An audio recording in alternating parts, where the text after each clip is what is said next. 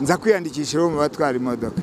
Ngiye habyarimana noneho jyewe ngenda ni we watwandikaga ko yaraje wewe abandi arabandika mugezeho ndi perezida nk'uko bisanzwe nk'uko n'abandi babikoraga ahangezeho arambwira ati se urashaka iki? Ndashaka kwiga imodoka nk'uko abandi bashaka kwiga imodoka. Ngo ni kimva imbere se.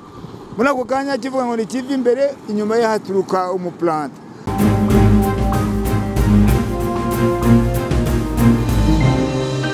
amahoro y'imana umusaza. Amahoro meza mani natwe twese. Shesha akanguhe ni byo koko? Umusaza w'imyaka mirongo irindwi n'irindwi navutse mirongo ine na kabiri ubu natangiye umwaka wa mirongo irindwi n'umunani. Uhereye kuri makumyabiri na gatanu z'ukwa gatandatu muri uyu mwaka. I- turi amahoro rero kandi tumerewe neza. Ese muzehe iyo bavuze ibijyanye n'iterambere. Nkamwe musheshe akanguhe iterambere mwumva iki? Iterambere iyo uko twumva iterambere ubona ko ari ibintu bigenda bisimburana kuba byiza. Mu ntangiriro igihe nakubwiye ko navutse muri mirongo ine na kabiri kandi natangiye kumenya ubwenge urabona ko umuntu amenya ubwenge afite imyaka irindwi ibyo nabonaga muri mirongo ine na karindwi mirongo ine n'icyenda ntabwo ari byo mbona ubu ngubu n'ukuntu byakorwaga ntabwo ariko bikorwa. Nuko eh, twabaga mu kuboneka kw'amafaranga kuri buri muntu ku muturage ngo abe yagira icyo yigurira abe yakwirwanaho ntabwo byabonekaga uko bikwiye. N'ibigurishwa ubu ngubu icyo gihe byo ntibyagurishwaga. Urugero nk'urwagwa ntirwagurwaga. Bararuhingishaga bakabyi- nako barabyinyweraga ku mugaragaro nta nubwo kuko uwaguhingiraga yanyweye urwagwa yahitaga agusibira kandi ntagire intege zo guhinga cyane niyo mpamvu bakoreshaga ibigage bivuye mu masaka. Ibyo rero urumva ko umumaro kugeza uyu munsi ari ibyo niba bikorwa izo nzoga barazinywa bakurishije amafaranga bafite. Ubu rero hariho amafaranga. Uko byagiye bizamuka bizamuka uko leta zagiye zisumbana zisumbana kugeza uyu munsi iyi ikurushijeho kuba ifite ibintu ituzanira byiza kurushaho n'iryo terambere mbona. Kandi kuri buri wese hatagize usigara inyuma n'usigaye inyuma bakamushakisha bategereje kuzamugirira umumaro. Ese icyo gihe ni bwo ibintu byari byiza cyangwa ibiri byiza ni ubu ngubu? Uravuga uti imbere urwagwa ntirwishyurwaga ibigage ntibyishyurwaga ubu birimo kunyobwa byishyuwe. Eh, ni iryo terambere cyangwa ahubwo icyo gihe nta terambere ryari ririho kuko nta faranga ryari ririho. Ntacyo byabamariraga. Mu myifatire myiza mu kwambara mu kwisukura. Ibyo rwose nta faranga ryari ririho urumva ko kwari ukubaho umuntu asa nk'uwigaragura mu byondo. Bisa nko kwigaragura mu byondo ukarya ugahaga urabona ingurube hari ubwo uyiha ibijumba ikarya igahaga. Ariko ikigaragura mu byondo nta kindi kindi zagira. Ariko burya ingurube na yo aho bazifata neza barazuhagira bakazigaburira ari byo turimo ubu ngubu zikaboneka neza. Ni bene ibyo ibyo ni byo terambere tuvuga kuri buri wese. Ibi by'amamodoka urugero nko iwacu ugiye ni muri huye twavaga ino kugira ngo tujye gushaka imodoka tukajya gutegera yenda kuri baraje cyangwa bariyeri yo kuri nyabarongo ngo uzabone ikamyo ihanyura kamyonete ihanyura uyigende hejuru. Ibyo urumva rero ubu ni iterambere. Urabona muri gare imodoka muri mu mpande zose z'u rwanda uragenda uko ushaka uko ushaka buri saha iminota mirongo itatu ukabura umaze kubona uko ugenda. Mm, naho uburyo niryo terambere. Naho icyo gihe ko ari ukugenda n'amaguru ukavunika ukababara bene ibyo ngibyo. Ariko ubu ngubu ho iri ni ryo terambere. Icyo mubona kitari cyagerwaho mwifuza ko cyakabaye kigerwaho kuri ubu ngubu ni ikihe muzehe I- icyagombye kwitabwaho uretse ko muri gahunda ya leta uko babivuga njya mpora numva babivuga icyakwitabwaho mu iterambere. Ni uko buri wese bamubonera aho kuba. Ntihagire n'umwe rwose usigara inyuma nk'uko babiteganya. Yenda tukarutana mu mibereho yo mu mikorere no mu migirire yacu hanyuma undi wese ari uwo hasi umuto bita umuto biriya byo mu midugudu akaba yazamuka ntaboneka mba- nsanga barara bicaye ahangaha bahetse abana cyangwa bifatishije abana dore ko ngo basigaye bacuruza abana bakabafata mu ntoki ngo babone uko babafasha. Ibyo ngibyo yenda bakanabihagarikira mu midugudu bikabayo bakabamenya bakabafasha numva ari ryo terambere ririho. N'ibindi bikomeza kuza nk'uko babiteguye. Birumvikana bi- na nyuma y'aha hazaza andi majyambere isa ariko rero kubera izo mpamvu ni ukugira ngo abantu bose tuzamukire hamwe ni cyo mvuga gikenewe cyane kurushaho twavuze byinshi reka tugarike dusoreza no ku bijyanye n'umuco nyarwanda.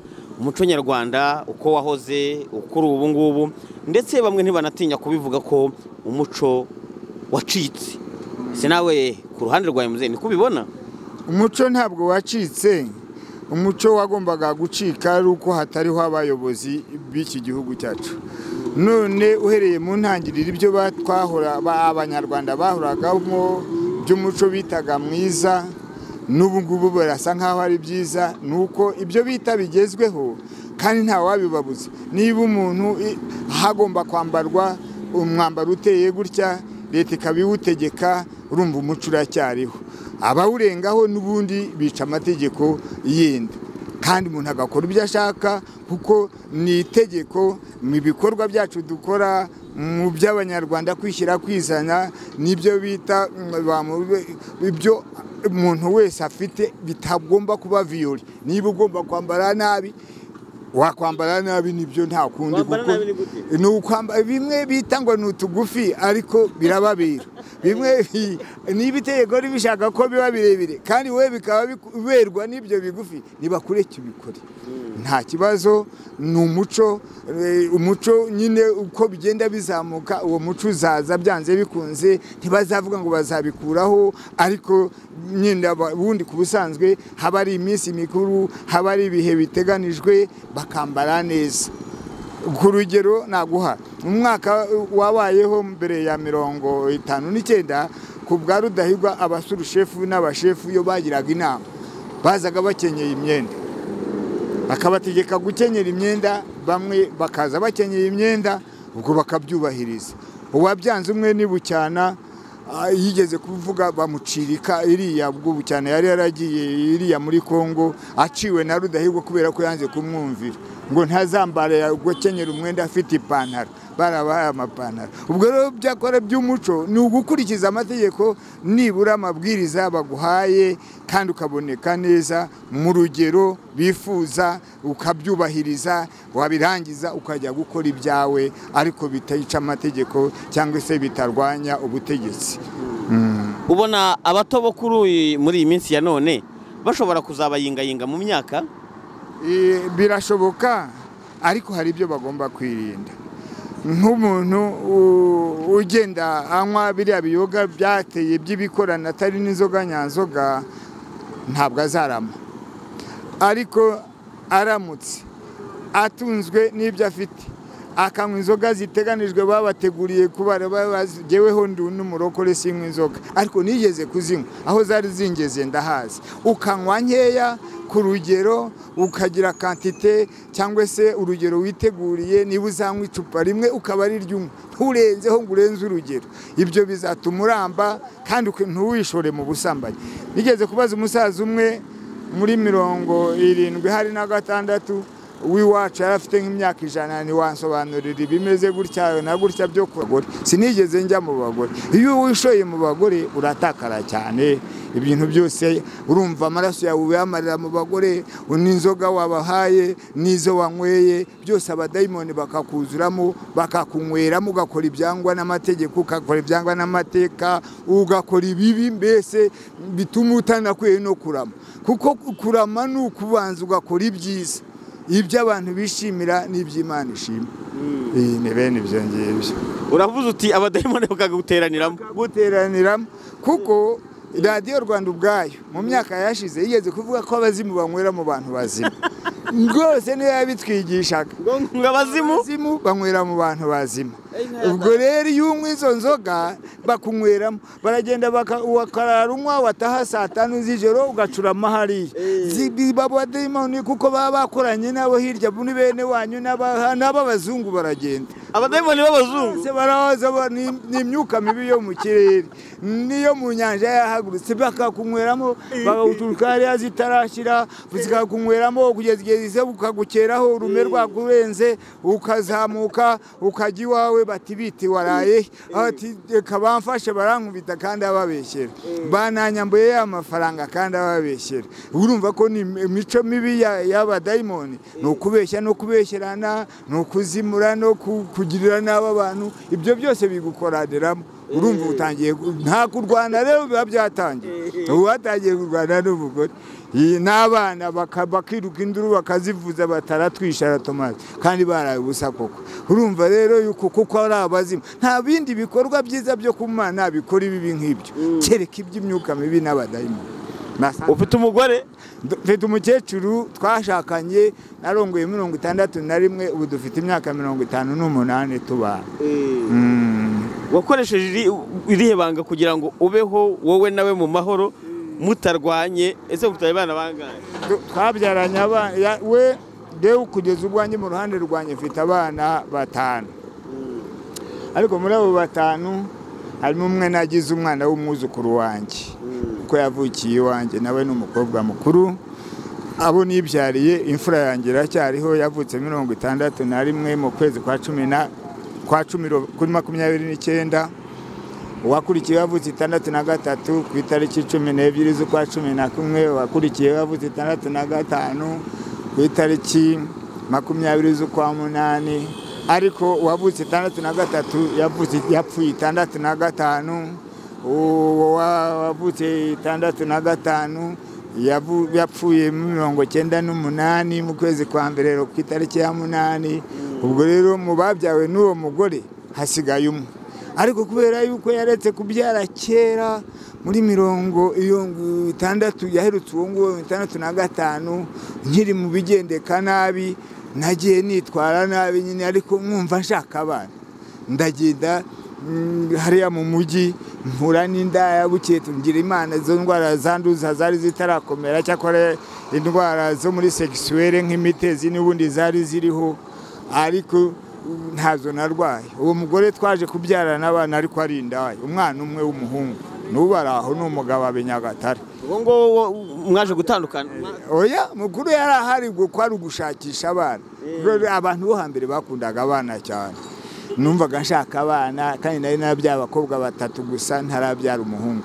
Ngize imana rero. Ubu- none se mbere y'uko ujya kuri iyo ndaya ujya gushaka iyo ndaya? Umugore yari yarahagaze. Kubyara? Kubyara kuko mu miryango yacu harimo abantu ngo baduhaye imiti mibi mama yacu yapfuye yapfuye mirongo itandatu na gatandatu mu kwezi kwa cumi ku itariki cumi n'enye. Noneho ubwo muri bene wacu baravuga bati mugomba kwera no kwirabura mugumaho ngiye kubona rero mbona banzaniye imiti nyuma y'amezi abiri yuzuye icupa ngo tuyakire naho kumbe ni ukuduhama ni ukuturoga.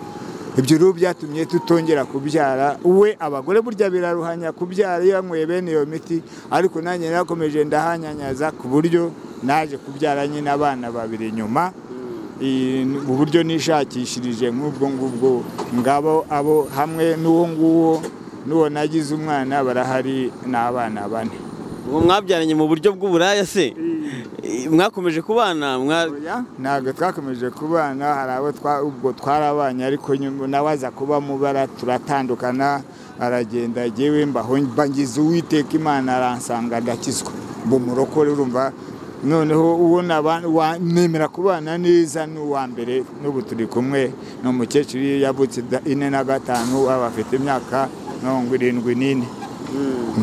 Noneho ni iyihe nama wagira abatoya b'ubu? Inama ngira abantu batoya no kwihanganira ibibagerageza baka- bakava muri biriya byose byinshi bibi twakomeje kuvuga hariya ibituma umuntu yasaza vuba atareze n'abana yashoboye kwibyarira kandi yabyara cyangwa se yashaka agashaka akabana akihangana. Kuko imbere y'abagore nk'uko imana yavuze yuko tuzabategeka bazaba munsi y'amategeko yacu bakagenda munsi yacu. Icyo gihe we ukabona ko itegeko ririho ubu ngubu ridutegeka kubana n'abadamu bacu cyangwa se abagore bacu mu buringanire. Ukemera kuko ari ibyavuzwe. Ni ibyateganijwe ntiwishyire hejuru. Iyo wishyize hejuru imbere y'umugore muba mwatanye kandi nawe ariterura akishyira hejuru. Akavuga ati mu butegetsi barandeba urankoraho baragushahura ubwo rero ugomba kwitondera ibyo ngibyo ni ibigerageza ukabyitondamo ukabana n'uwo muri kumwe amahoro kugira ngo ushobore kwirera abana cyangwa se no kuzarangiza neza uru rugendo turimo. Urakoze reka tugushimire dusoza urongera twibutsa amazina. Unatubwire utuye harya? nitwa bazatoha frederic. Navukiye mm, ahari kera mu- muri nyakare ahitwa ibuvumu ubwo ni mu gihe cy'umwami ahitwa ibuvumu ni umurenge wa mubumbano dometi na muri huye i butare cyangwa se sitirida kuko navutse hakitwa sitirida ariko twaje kuhimuka muri mirongo ine n'icyenda tujya gutura i maraba ubu ndi umuturage wo mu murenge wa maraba naho ni muri huye. Nkaba ariko ntuye ino nahaje kera ko nigeze kuba umusirikare mu ngabo za kayibanda kuva mirongo itandatu na kabiri nageze ino ku itariki cumi n'umunani z'ukwezi kwa karindwi niwo wari umunsi wa inkoroporasiyo yanjye ni ukuvuga umunsi nakiriweho mu gisirikare. Nuko ndahaba rero habyarimana yakoze kudeta yakoze kudeta ku itariki ya gatanu niko babikoze ariko yari yabasonye rerite nijoro ku itariki ya kane ubwo nari ndi mu kigo natanze byose hanyuma ndataha mpita nkora nkora muri banki komerisiyare urumva nakomeje kuba ino ndahava nkora muri kese de parenye nkomeza kuba ino. Ariko famiye narayijyanye i butare ihuye nyine. Eh, ndahava njya muri banki rwandeze de developement naho nza kuhava mpamaze imyaka ine n'igice. Njya muri banki muri burarirwa limonadori. Ku kicukiro ni ho naherewe pansiyo muri mirongo cyenda na karindwi umwaka ushize. Ubuzima ubuzima wahuye nabwo mu gisirikare cyo kwa kayibanda udashobora kuzibagirwa ukavuga uti amateka yanjye yo muri iki gisirikare. Ubuzima nahuye nabwo muri kiriya gihe harimo ibintu bisa nk'ivangura ry'amoko n'uturere. Njyewe ni birebire cyane kuko mbitangiye bya- byarangiza ntimwava aha ninjiye muri ubwo busirikare ndagenda mba umusirikare. Bukeye turangije seyi ni ukuvuga centre d'instruction ubu ngubu ni byo abasirikare b'ubu bavuga ngo ni ukujya mu hariya bajya nk'abajya bariya abapolisi eh, bajya igishari cyangwa se abajya mu mutara kwitoza babyita ngo ku makosi. Kosi rero waga uyirangije amezi atandatu twigaga duga ibyo bya- gisirikare wayirangizaga wajyaga mu mwuga. Muri iyo myuga rero wajyagamo wahitagamo uwo ushaka habaga utize habaga barize ugafata niba ari ukudoda niba ari abajya gukora dagitirogarafi bandikisha imashini ziriya za duwate gutya. Ari ababaza ari abahi ari abadoda ari abamekanisiyeni ari abatwara imodoka. Nza kwiyandikisha mu batwara imodoka. Ngiye habyarimana twari turi kumwe mu ikompanyi twari turi muri desiyemu kompanyi ya ya ya- yo bite desiyemu bazitaga nako poromiyeri desiyemu muri santere d'instruction bavuga ngo ni interivasiyo kuko babaga bari abarikiri bariho biga biga biga. Aba ari ikiri inama rorikiri ni ijambo ry'igifaransa rivuga ibintu abantu bashya cyangwa ibintu bishya. Ni rorikiri ni ubwo rero abo barikiri nari ndimo. Turangije iyo warangizaga wajyaga gufata umwanya. Ukabanyuka wari uri mu gikundi kimwe na habyarimana? Oya habyarimana yari liyetona w'inyenyeri ebyiri ariko turi mu ikompanyi imwe arajwe y'umuzungu witwaga darapiye wari komanda w'ikompanyi yacu. Noneho jyewe ngenda ni we watwandikaga ko yarajwe we abandi arabandika mugezeho ndi perezida nk'uko bisanzwe nk'uko n'abandi babikoraga ahangezeho arambwira ati se urashaka iki? Ndashaka kwiga imodoka nk'uko abandi bashaka kwiga imodoka. None se iby'imodoka ubizi gute? Nabwo nta nubwo yavuga ngo ubizi yavuga ngo kibizi. Ndamubwira n'igihe imodoka nabaye umuboyi shoferi ariko uko ari i butare nkagenda n'imodoka zitwaye eh, ikawa zizijyanye i bujumbura nubwo rero numva nzi iby'imodoka kuko nabaye umuboyi shoferi aravuga ngo ni kimva imbere se muri ako kanya kivuga ngo ni kiva imbere inyuma ye haturuka umupuranta umupuranta avuye mu biro aramubwira ati muri yetonati telefone iraguhamagaye. Arahaguruka. Ubwo hari umuporomiyeseri witwaga felix batangiye kunyandika bazana amatirikiri undi arangiza kuvuga atararangiza kunyandika. Araza aramara iki sinavuze ko batacyandika. Ibyo byarababaje cyane ankura mu bandi. Mvamo akomeza kwandika abandi. Ndagenda bampa mitasiyo ku kibuye ku kibuye nahageze ku itariki enye z'ukwezi kwa gatanu ibyo kwiga imodoka ubu bivuyemo uretse ko yambujije kwandika. Ntiyanyanditse yankuye. Maranya. Ubwo muri uku kwezi kwa mbere hari mu kwezi kwa mbere itandatu na gatatu njya kwiga nako baduha mitasiyo njya ku kibuye nagiye ku kibuye ku itariki enye z'ukwezi kwa kane ni ho nageze ku kibuye itandatu na gatatu. Mpamara amezi atandatu mu kwezi kwa karindwi ni ho bari bagize kapiteni habyarimana agiye kuba gukorana na n'uwari chef d'état major ngo amuberajuwe kandi azaba ari we umusimbura witwaga Van Straton nuko. Araza aratwereka mu kwezi kwa karindwi turamukinira gukina kw'abasirikare ni ugukora amasiporo guca muri za piste d'obstacle gukora defile no kuperezanta rume tumusuhuza tugira guti ibyiza by'abasirikare bakorera ba shebuja. Icyo gihe wabikoraga wishimye se kandi yarakubujije amahirwe? Icyo gihe byo nta byari byaramvuyemo. Gusa ahubwo amahirwe ya nyuma. Uraza kuyumva muri uwo amaze kuva aho kudusura yenda yasuye n'u rwanda hanyuma haza amamesaje avuga ko tugomba kwiga abazatangira mizike abaziga mekanike nanone nka bya bindi bya mbere. Niyandikishijeho kwiga miziki navuga iby'ubushoferi byo reka data atazongera yabonye ko bitankwiye. Ndiyandikisha kandi muri leta majoro harimo taburo yerekana imirimo y'abasirikare bose burya haba orudere ya dobataye niko babyita. Noneho njya muri mizike sasa. Ndaza ava ku kibuye twatangiye miziki iriya ubona iriya barimo ubu ngubu mizike militeri. Yatangiye muri mirongo itandatu na gatatu mu kwezi kwa cyenda. Niho twayitangiye turabyiga yari eso nk'iyandi yari eso mizike kimwe na yeso butare na yeso mekanike yakorerwaga muri basi. Akavuga bati abazarangiza poromosiyo ya mbere. Y'aba mizisiye uzaba uwa mbere chef de poromosiyo azajya kwiga mu bubirigi mbyiga imyaka itanu. Bati deziyemu poromosiyo kuko buranshi yaragutsindaga ariko hagatsinda yenda bakeya bane batanu indi poromosiyo ikurikiyeho haza kubonekamo undi muri mirongo itandatu na gatandatu dukora egizame yo kuba abasuzofisiye bari baratugize na ba kaporari bagombaga kuba kaporari mu kwezi kwa kwa cumi igihe barabinyima bampa rotari ntarigeze mfungwa. Ariko imyaka warayiho byagiye bikubana imyaka igisirikare byageraga muri leta majoro bakanya. Nuko ujya kuri pete rya kaporari bampaye rotari y'amezi atatu hari mu kwezi kwa cumi itandatu na gatanu mu kwezi kwa mbere bararimpa mu kwa gatandatu dukora egizame ya serija. Ndatsinda mbari igihugu wa shefu w'iporomosiyo baramporopoza uwo muzungu yatwigishaga baramporopoza nyuma y'amezi atatu nanone hakora undi indi poromosiyo hatsinda uwitwa semitwe yosefu akaba umunyaruhengeri muri komine nkuri uretse ko iwabo bari barageze aho bimukira mu bugesera nawe yaguye mu bugesera ariko azize uburwayi yararangije ubusirikare kuko yarangije ubusirikare araje dan shefu cyangwa araje da gusa sinkibuka neza. Nuko noneho rero jyewe nubwo baho mu cyizere nawe abaho mu cyizere baraduporopoza bigeze nkajya numva abantu bavuga bati kandi bya bindi byaba bazatoha byarapfuye.